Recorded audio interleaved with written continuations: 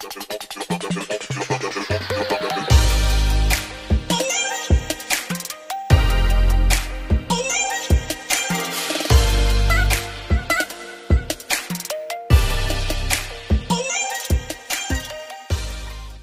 my dolls, so it's your girl A. coming to you guys today with a wig update. I typically don't do these videos, but this wig definitely deserves an update.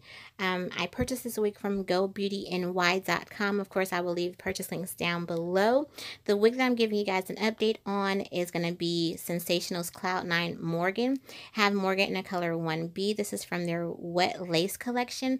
Morgan is basically a premium synthetic 13 by 6 frontal unit that comes with um, that comes with a pre-plucked hairline. She's going to come with transparent lace so it um, gives the, you know, you don't have to do too much customization to it because it blends in seamlessly. I do highly recommend this unit, okay? As far as the wear, I've been wearing this unit off and on for about a month now, and it still looks good. As you guys can see, the hair um, is not looking dry or ratty or anything like that. Um, when I when I did initially start wearing her, I did, of course, spray some hairspray on this wig um, just to keep its body and everything like that. And as you guys can see, the body is still flowy. The hair is not clumping up together anything like that.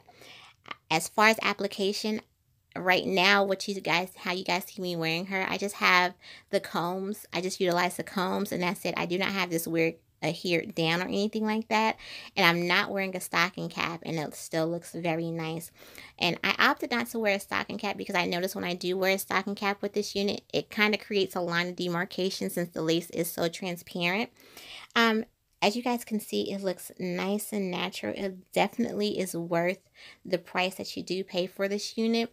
So yeah, this is one um, synthetic frontal that I do recommend. Okay, she is going to be heat safe up to 400 degrees.